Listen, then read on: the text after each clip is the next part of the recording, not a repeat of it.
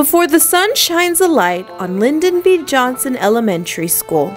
Vice Principal Marte Neshem is already beginning her day.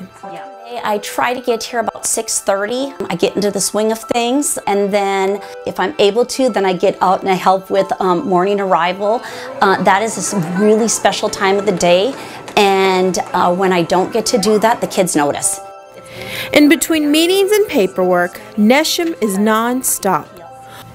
Join her for lunch duty and you'll quickly see where her passion lies.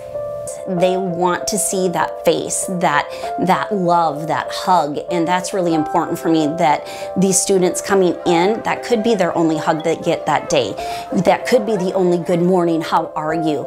And so it's really important to me to be out there as much as possible so they have that warm, friendly feeling coming in.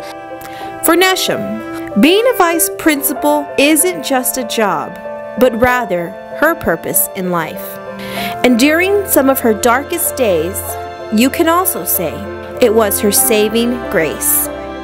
My son passed away in 21 unexpectedly in May of 21 and so um, it was a godsend I think that I was asked to come you know do you, are you interested in the admin intern position because I think being in this position gave me the renewed purpose. Each day of being around the students, of being able to go around from staff member to staff member, didn't take long to get that sense of purpose back in me, to have that feeling of, I am here for a reason.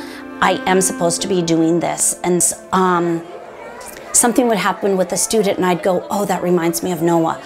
Remember what he would say. Remember that feeling. Know that my, my kids are physically and emotionally here with me, whether they're on this realm or another, saying, You got this, mom. You got this. You can do it. Your babies need you.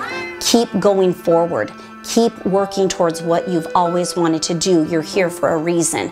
And those students are here in my life for a reason. The staff is here in my life for a reason. If I didn't have them last year, I don't know what I would have done. You got this, guys. You got this, okay?